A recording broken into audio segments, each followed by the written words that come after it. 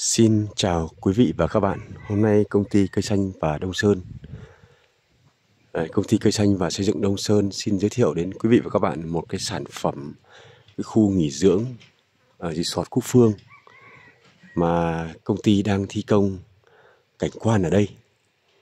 À, hiện tại thì à, công ty đã thi công xong cái hệ thống uh, nền cỏ nhung nhật và cỏ lá tre cũng như là các cái cây cảnh quan xung quanh.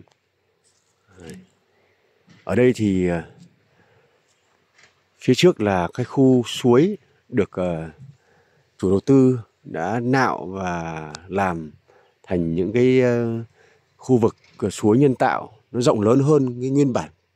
Và ở phía ngoài bên phía kia đó là cái khu đất mà chủ đầu tư dự kiến sẽ làm cái khu uh, sân khấu cũng như là tổ chức sự kiện ngoài trời.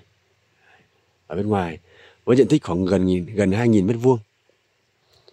Và đây đây là cái khu các cái căn biệt thự.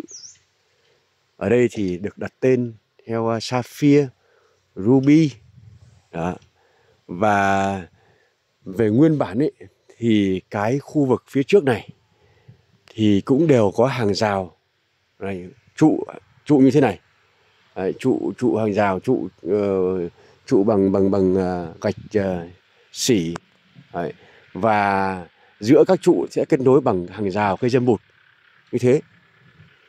Thế thì tuy nhiên rằng khi mà chủ đầu tư mới họ cải tạo thì họ biến những cái hàng rào này thành các cái không gian mở bằng cách là họ phá họ bỏ. Đấy và các bạn thấy rằng mặt tiền này không có một cái rào cản nào cả. Và cái ý đồ của họ là tạo một cái không gian mở. Họ view từ từ trong khu biệt thự nhà họ. Đấy view ra ngoài phía hồ này. Nó một cái không gian rộng lớn. Không bị uh, gò bó bởi các cái hàng rào các viền cây. Đấy. Thế thì là tôi đang giới thiệu đến các bạn cái cái khuôn viên bên trong cái cái khuôn viên cơ bản của họ ngày xưa và bây giờ chúng tôi sẽ cải tạo Đấy. sẽ làm cho nó được mở hơn rộng hơn xanh mướt hơn Đấy.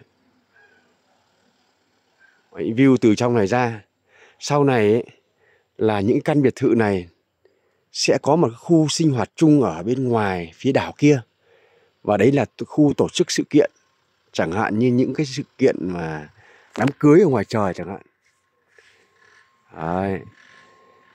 ở trên đảo, ở dưới thì có có nước, có suối chảy đấy.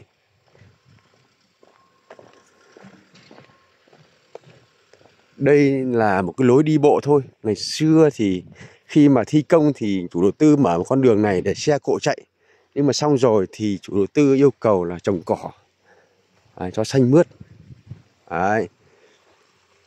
và ở đây thì à, chúng tôi đã cho à, xây để ngăn giữ nước từng từng bậc từng bậc như thế này Đấy.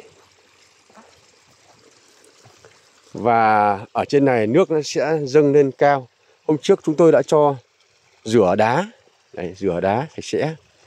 Và dần dần là chúng tôi sẽ cải tạo thành những cái nước rất trong và sạch. Đây chúng tôi cho nước chảy từ từ chậm từng khuôn một. Đấy.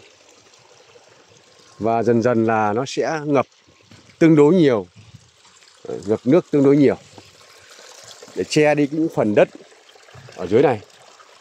Đấy chỉ có là nhô những cái viên đá nhô ở trên thôi. Nó tạo một cảnh quan rất là đẹp. Còn những cái à, viền, đường viền đá này, sau này chúng tôi sẽ trồng cây, khớp vào để tạo thành cái cái giải cây xanh xen với đá. Nó rất là đẹp mắt và mát mắt. Giảm bớt đi cái cái thô cạch của những viên đá đi. Đây là dự kiến là một cái nhà sàn, nhà phục vụ kia là lối vào. Đấy vào đây. Chúng ta đang ờ, chúng ta sẽ đi sang bên khu đảo.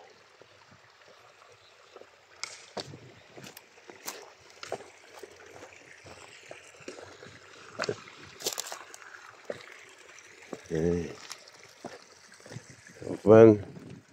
Khu đảo này được chúng tôi trồng cỏ lá tre này. Đấy, ngày mai chúng tôi sẽ bố trí tưới tưới cỏ Đấy.